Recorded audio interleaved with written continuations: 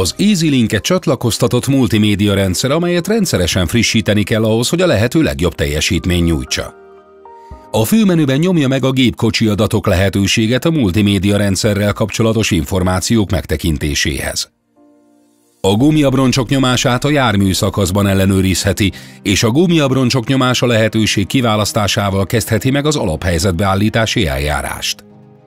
Vezetés lehetőségre kattintva megtekintheti a megtett utak energiafogyasztási adatait és a gazdaságos vezetésért járó pontokat.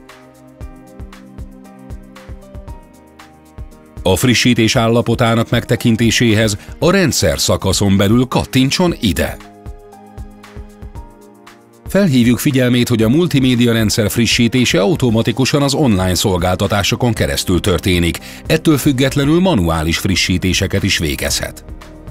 A szoftver frissítés menüben megtekintheti a fedélzeti szoftver verzióját, sorozatszámát. Válassza a frissítések keresése lehetőséget a rendelkezésére álló frissítések listájának megnyitásához. Nyomja meg a telepítés gombot a kiválasztott frissítés elindításához. Használja a térkép frissítése menüt a navigációs rendszerben telepített összes térkép megtekintéséhez. Ne feledje, hogy a manuális térkép frissítések nagy fájlokat tartalmazhatnak, amelyekhez USB memóriára lesz szüksége.